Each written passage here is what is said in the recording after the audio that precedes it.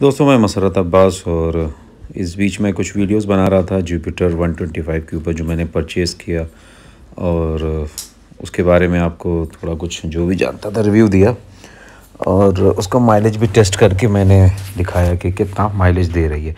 और last video में देखिएगा तो उसमें मैंने पूरा टैंक फिर फुल कराया, उसके बाद गाड़ी डेढ़ दो किलोमीटर, चार किलोमीटर चली होगी, उसके बाद फिर आज मैं अपने ऑफ़िस तरफ़ गया शॉप की तरफ़। तो वहाँ मैंने गाड़ी खड़ी कर दी, ठीक है। उसके बाद धूप बहुत ज़्यादा तेज़ थी टैंक फुल था। और तीन चार घंटे गाड़ी खड़ी रही तो नीचे से जो है उसमें से पेट्रोल बहने लगा। अब रीज़न तो नहीं समझ में आया कि टैंक फुल था और उसके बाद उसमें जब धूप बहुत तेज़ पड़ी सनलाइट तो हो सकता है उससे कुछ गैस उस बनी हो, या वैक्यूम या मॉइस्चर बना हो। वो क्या था, ये तो खुल के चेक होगा, लेकिन खैर नई गाड़ी को देखते हुए अगर ऐसी कोई सिचुएशन आए तो आदमी थोड़ा सोचता है। तो ये हुआ मेरे साथ। उसमें से पेट्रोल जो है काफ़ी बह गया। अब वो पेट्रोल था या मॉइस्चर बन के पेट्रोल के साथ निकल रहा था। लेकिन काफ़ी देर से निकला। उसके बाद फिर मैंने गाड़ी उठाई, थोड़ी दूर तक हिला के ऐसे ही किया। फिर बह रहा तो एक ने बताया कि गाड़ी में से पेट्रोल भरा। ये पाइप है। इसमें से भी कुछ था और इसके इधर उधर से भी पेट्रोल। मैंने हाथ लगा के देखा, बहा। तो जिसमें सीट के नीचे टैंक होता है, ये तो समझ में आया कि सीट से उसको प्रोटेक्शन रहती है।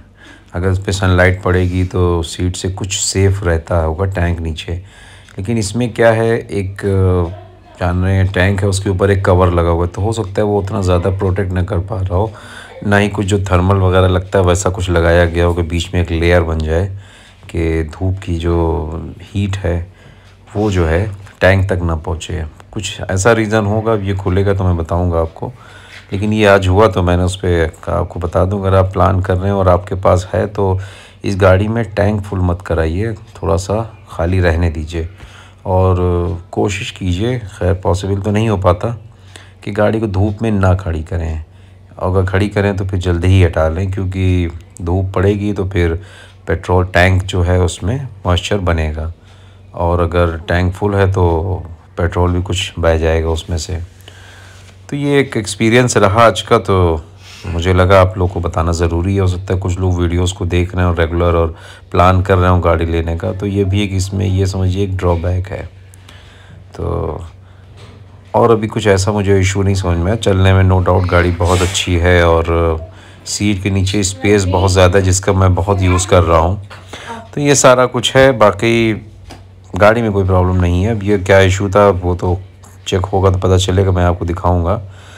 बाकी ठीक है दोस्तों ओके और वीडियोस पसंद आ रही हैं तो प्लीज़ चैनल को सब्सक्राइब कीजिए वीडियोस को लाइक कीजिए, उस पर कमेंट्स कीजिए, दोस्तों में शेयर कीजिए। Okay bye